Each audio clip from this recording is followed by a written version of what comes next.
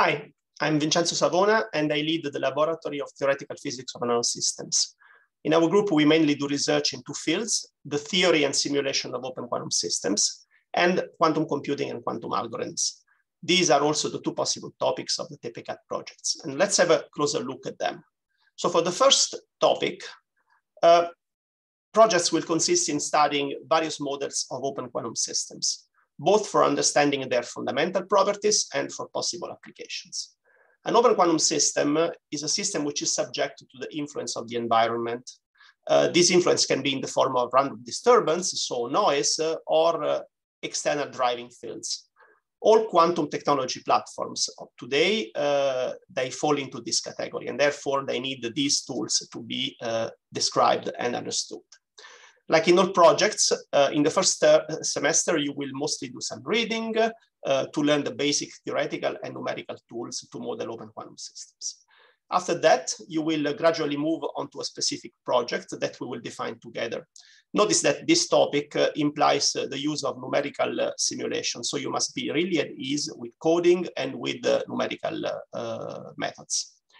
As an example of a recent result of our group in this field, uh, uh, there is this manuscript. Here we have uh, developed a new bosonic code. That is to say, a scheme to encode quantum information in the states of a harmonic oscillator in a way that allows detecting and correcting quantum errors. This is very important for uh, uh, modern quantum computing. Bosonic codes are very promising for quantum error correction. And uh, the one we developed has a, a, a capability of correcting errors, which is significantly improved over the present state of the art.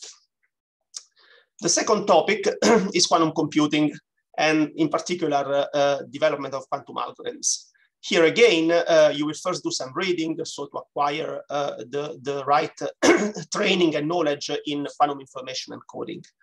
Uh, then we will decide together a project which can span a, a very, very uh, broad variety of themes, uh, going from uh, quantum algorithms for quantum simulation or variational quantum algorithms for various purposes meant to run on near-term quantum computers, or uh, quantum-inspired classical algorithms.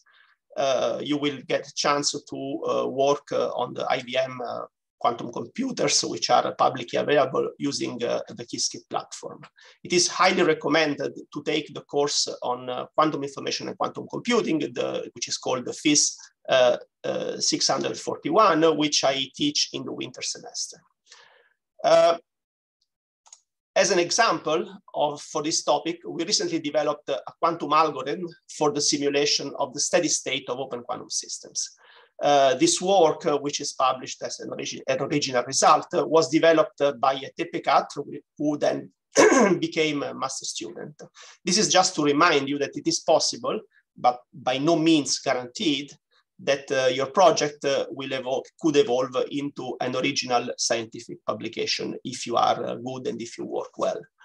Uh, and that's all. Uh, let me give you, first of all, uh, some success stories. so speaking of being good, if you opt for a, a TP4 in our lab, and if you are really excellent, you may have the opportunity to go uh, for your master project uh, elsewhere, uh, either in uh, uh, very good laboratories around the world or in industry. Uh, this is a short list of what we managed to do only very recently.